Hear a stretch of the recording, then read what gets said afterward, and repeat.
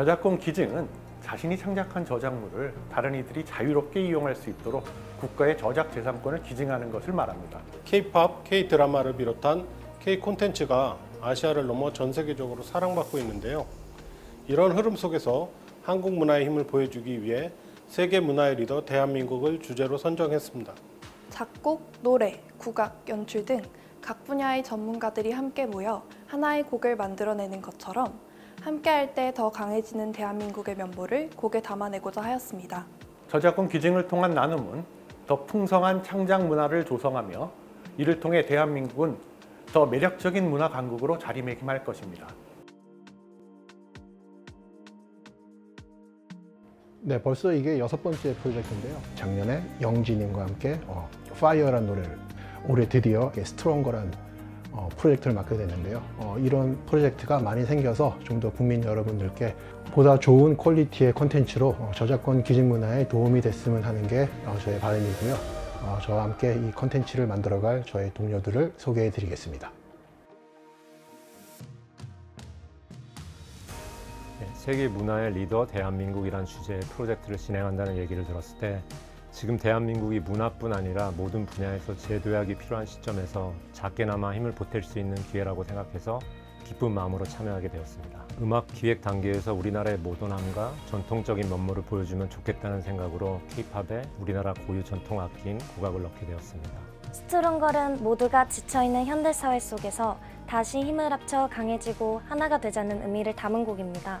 힘들 때 이 노래를 듣고 누군가에게 위로와 용기를 주어 조금이라도 더 좋은 세상을 만들어가는 트리거가 되었으면 하는 내용의 가사입니다. 스트롱거는 우리나라의 불굴의 의지와 강인함을 표현한 노래입니다. 에일리님의 진정성 있는 보컬 거창과 함께 국악과 전통 악기들이 잘 어우러질 수 있게 곡을 제작했습니다.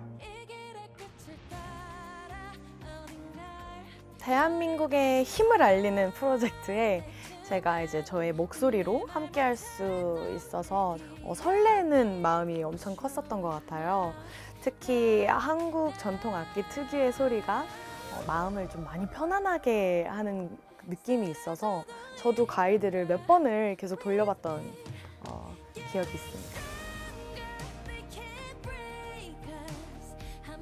어, 이 곡에는 25연 가야근이랑 대금, 아쟁, 검은고 그리고 타악기까지 다섯 대의 국악기가 들어가는데요. 각 악기의 식임새와 음색들을 통해서 국악기 고유의 질감을 살리고자 하였고요. 어, 더불어서 너무 이질감이 들지 않도록 하기 위해서 많은 고민을 했던 것 같습니다.